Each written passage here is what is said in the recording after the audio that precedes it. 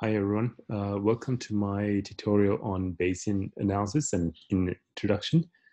Uh, now before I start this tutorial, I should let you know that we will be looking at some distributions. So I'm going to assume that you know what a Gaussian distribution is, what a gamma distribution is, um, and be familiar with the basic Bayes rule, right? So uh, those things I'm going to assume. So if you if you don't know those ones, I, think I think you need to uh, uh, step out of this tutorial because it might be a lot. But regardless, um, I am going to focus on doing things the Pythonic or rather the PyMC3 way of doing things. And the maths, yes, I, I will show you some maths, but uh, again, uh, try to go to the end of, to the end of the tutorial where I will show you how it's done using PyMC3, and you might go hey, wow, I really don't need to know the maths to be, to be doing Bayesian analysis. Okay, all right, so let's get started. Um, so the problem that I have is um, I have a, a, set of observations, okay, so I'm going to call them X. Um, and what I want to do is I want to go ahead and estimate the mean, right? So now obviously you're thinking, okay, the, the, the that's fairly easy. I can just just simply sum them up and divide by n, I will get the mean. But no, um, I want to do this the Bayesian way. So not only do I want to get an estimate of the mean, I want to get I want to get an idea of how uh, how much it varies as well. Okay, so um, all right, so let, us let's just get started with the example so you understand what I'm talking about. Right, so I'm, I'm going to tell you that the, the, the true mean. Let me just zoom in. All right, so that the true mean is going to be four, um, which I don't know, which I'm uh, going to estimate. And the observations uh, have a standard deviation of one. Now I'm telling you that the standard deviation is one. Okay, so um, for the problem, you you can assume that.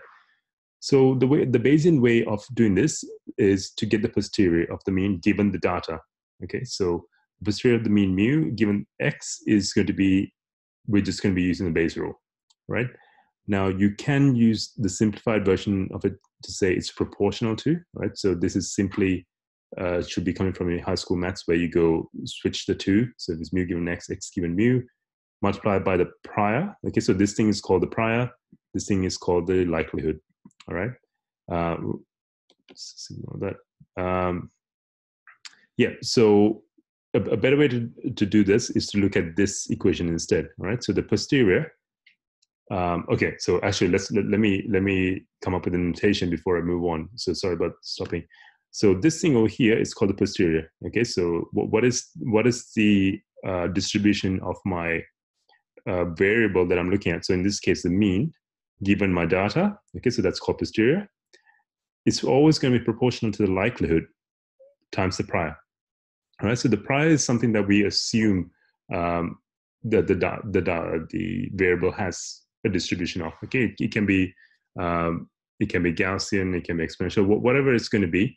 Generally, what you do is you you say that the prior is very wide, right? So basically, you're saying I really don't know anything about uh, this variable, so I'm going to assume it's going to be as wide as possible to capture all possible values. Um, so what's going to happen, you'll see soon, is that the prior will start making sense. Okay, now bear with me. I, I know this, this, this is a bit of maths, but uh, as soon once you get past this bit, things are going to get a lot easier. All right. So what I'm what I want to find is the the posterior of mu given all my observations of n. Um, I've already told, like, I, I, okay, I forgot to mention that the likelihood. So I'm going to assume that it's a it's a normal distribution centered around mu, and because I know that the standard deviation is one, you divide by one. Okay, so which I haven't really shown up here because it doesn't really make sense. Um, now for the mean, the prior, I'm going to assume that the mean is centered around zero and it has a variance of 20. Okay, so 20 is, is a fairly large variance, right? Now, and uh, like the, the true mean is four, but we haven't observed that, okay? So basically you can work through the maths and then um, uh, you end up saying that the posterior is this thing.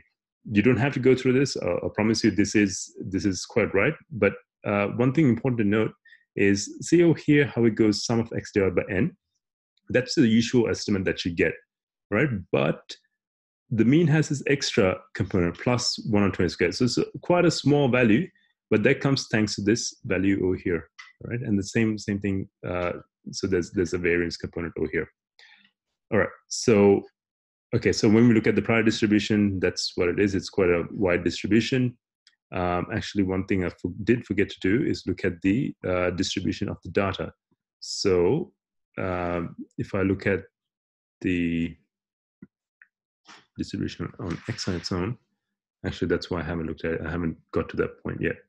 All right. So okay. So what I, what I really want to show is how the the the mean and the variance change as we observe uh, more and more uh, values of x. Okay, so if I was to, um, sorry, I'm running this on Google Colab as, as you can see. Um, yeah, so when I run through this, so in the beginning, it's it's quite a the, the posterior on the on on my mean is quite wide. Okay, so the values are varying between zero and five. Okay, so I know that the true mean is four, but you'll see as as I go along, the further I go along, the mean is starting to converge around four. And just one thing that I really want you to focus on is how the variance changes. All right, so this is a this is quite a wide distribution, but it starts to get narrower and narrower the more observations that we get. Okay, so in the end, well, it's kind of it doesn't really go too much further, but yeah, the point is it's starting to get thinner and thinner. Okay, so the more observations that get. And that's all thanks to this equation up here. Okay, so you can see that uh, the, the mean the mean of the mean, right? So re really get that into your head. So the mean of the mean is starting to converge onto four, the more observations that we get. And this thing over here, the more observations they get, uh, it's the the variance is, is really narrowing down to um, it's going to get screamed, uh, squeezed down to zero. Okay, so that is the mathematical way of doing things. So this is really what, where I wanted you to uh, get to. So now we're going to do with the PyMC3 way. All right, so the PyMC3 way, all you really had to do is you had to specify how the data is generated. So you need to set, set your priors and your likelihood. So what do I mean by that? Okay, so like I, I told you the prior that I have on my mean is uh, the normal distribution 0, 20.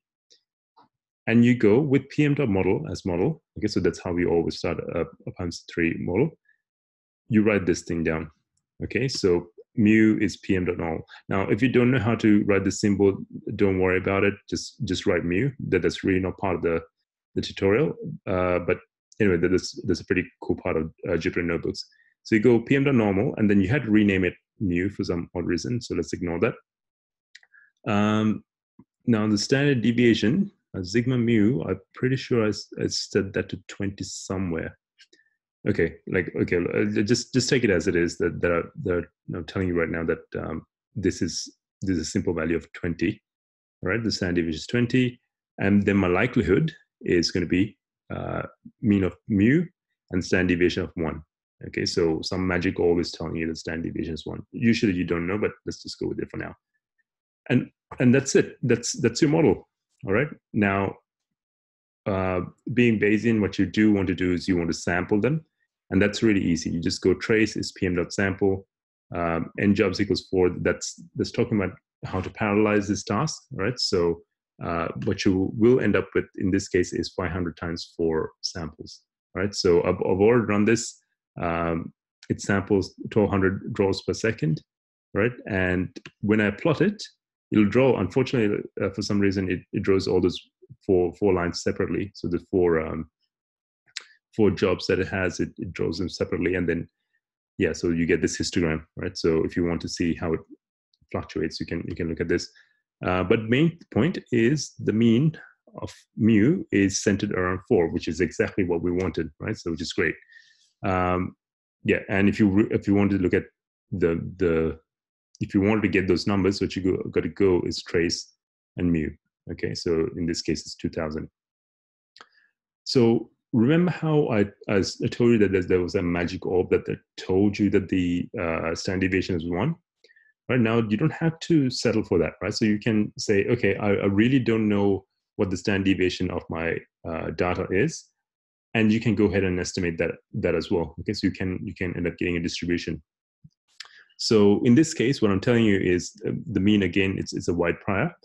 Um, but this time I'm going to have a prior on sigma as well. Okay, so y will, will be distributed with mean mu and standard deviation sigma.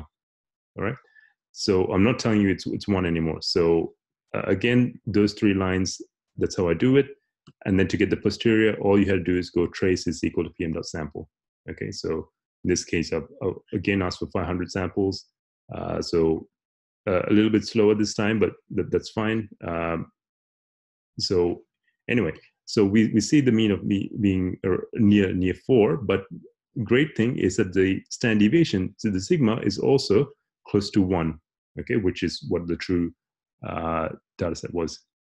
So that that is it for this tutorial. All right, so this is very much an introduction to uh, Bayesian uh, analysis. So basically, how to get the the posterior the uh, PyMC three way rather than having to having to force yourself to use maths to figure it out, right? So uh, again, just to reiterate, if I went back to the maths, I had to I would have had to work all this out, and it would have been even more complicated if I tried to um, try to work out the posterior for sigma given the given the data. Okay, so um, yeah, so PyMC3 really makes things easier. And and just if you if you're already aware of Bayesian uh, analysis, note, notice how I didn't um, how I didn't mention anything about the sampling method, right? So I didn't say, tell you it was uh, Gibbs sampling. I didn't tell you it was having uh, Hamiltonian, uh, not not HMC, uh, Metropolis sampling.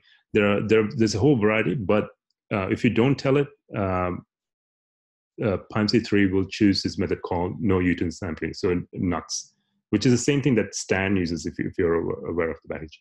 Anyway, I'm going off in a, in a tangent. So that's it for the introduction to Bayesian learning. Uh, next time I will come up with a uh, Bayesian deep networks uh, tutorial, right? Uh, but that's it for this one. If you liked it, please let me know uh, if you would like to continue learning more about Bayesian uh, statistics. and thanks for watching, and please, please do subscribe.